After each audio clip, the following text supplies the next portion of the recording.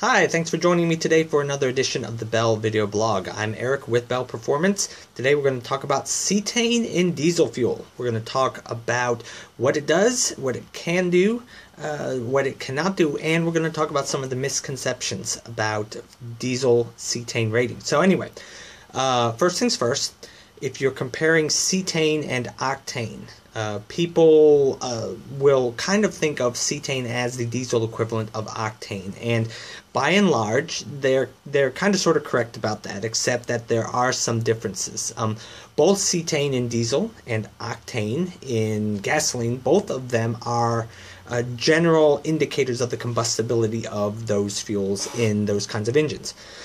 Uh, the difference is that they work in uh, kind of opposite ways. Um, fuel with a, a high cetane value, uh, those the, the, those fuels will combust faster. A higher cetane value speeds up the combustion of diesel fuel uh, in the combustion chamber.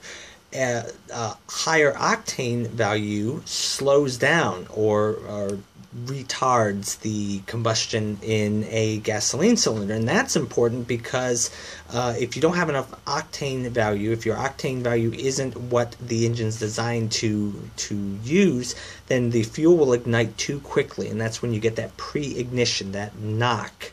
Uh, so the, the satisfactory octane value will actually slow down the combustion of the fuel so that it will ignite at the right time relative to both the spark plug uh, spark and the top dead center position of the uh, cylinder in this in the combustion chamber. So, um, you have for cetane value, you can of course raise the cetane value of diesel fuel by adding certain chemicals, certain chemical cetane improvers.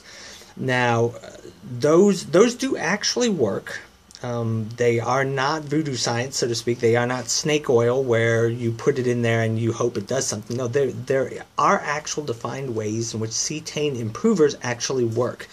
Uh, basically, uh, without getting too much into the chemistry of it, a cetane improver uh, is something that is is more combustible than the fuel is at higher temperatures. And when we're talking about higher temperatures, we're talking about the kinds of temperatures that are experienced within a typical engine combustion chamber. So if you add X percent of, of cetane improver to diesel fuel, and then you expose that in the combustion environment, that cetane improver is actually going to start igniting first. And of course, when it starts igniting, it's going to cause the rest of the fuel to ignite. And so that causes the overall blend of the diesel fuel to ignite and combust more quickly.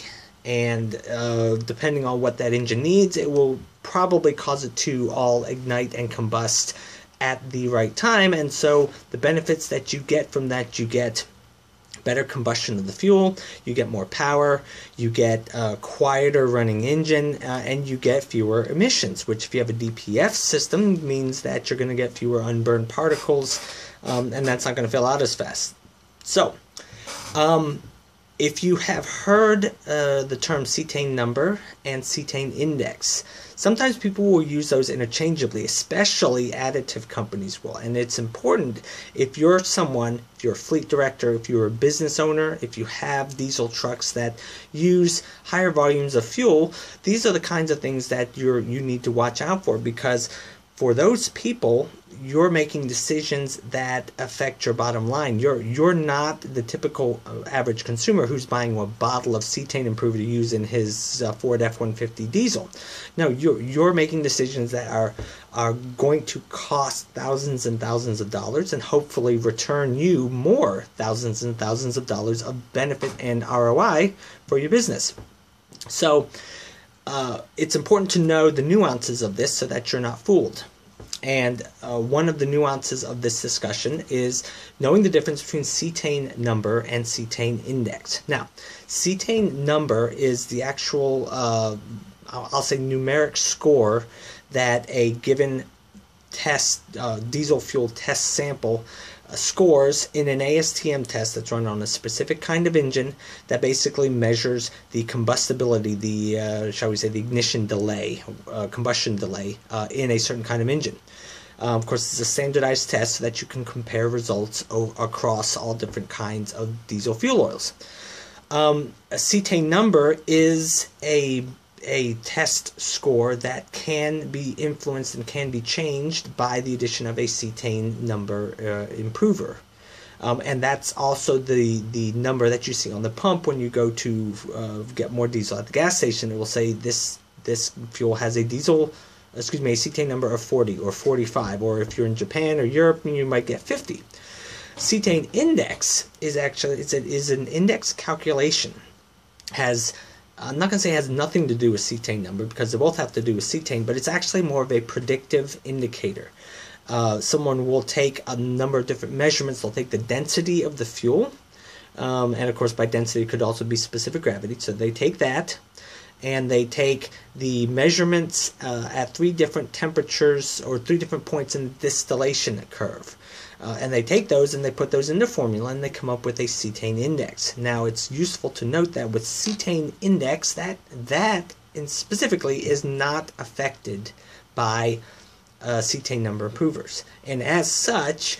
Uh, if someone is trying to, let's say, market a, a cetane improver and they talk about how uh, uh, their you know whatever cetane improvement formula they have is going to improve your index by X amount, you know that they really don't know what they're talking about, and you should probably uh, you know move away from them because they're probably trying to pull the wool over your eyes. So.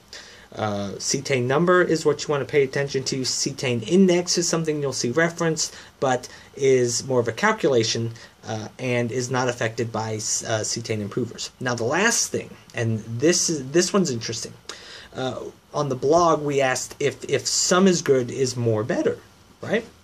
Um, just as with octane, uh, just as with spark ignition engines, uh, diesel engines are designed, they're engineered to run optimally on fuel that has a given uh, minimum cetane value. Typically, it's between 40 and 45. Um, if you supply fuel that has that cetane rating, that engine is going to run its best.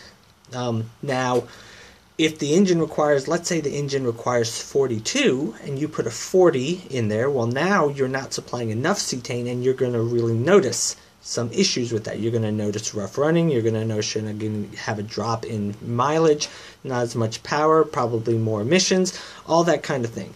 And so in that situation, that's when you want to add a cetane improver because you want to raise that 40 back up to the 42 that that engine needs. Um, but what happens if your engine needs a 42 and the fuel that you've got is a 42? So you put it in there, but uh, you know, being the smart people that we are, sometimes we make assumptions, and so you might think, uh, well, okay, you know, if, if 42 is good for this engine, well, maybe I'll add cetane improver, raise it to 45. Um, are you going to get any appreciable benefit for that? Well, the answer to that is no, not really. Your engine needs what it needs. It needs 42 cetane. You're already supplying enough cetane in the fuel already.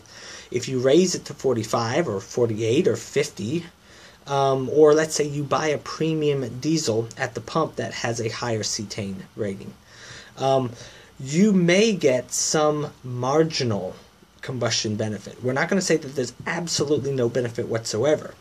But what we are saying is that there is not as much benefit as people like to think. You're going to get some very marginal benefit, but the key here is comparing that marginal benefit that you're going to get to how much extra you're paying. You know, whether you're paying extra for a cetane improver um, or you're paying 20 or 30 or however many cents more per gallon for premium diesel fuel that has higher cetane rating you're you're paying a considerable amount and so you as the consumer are expecting to get considerable benefit that is at least as much as the extra you paid for it and the bottom line is that putting too much cetane into your engine is not going to hurt your engine. It's not going to do anything negative. The only negative thing it's going to do is it's going to be negative to your budget. It's going to be negative to your wallet.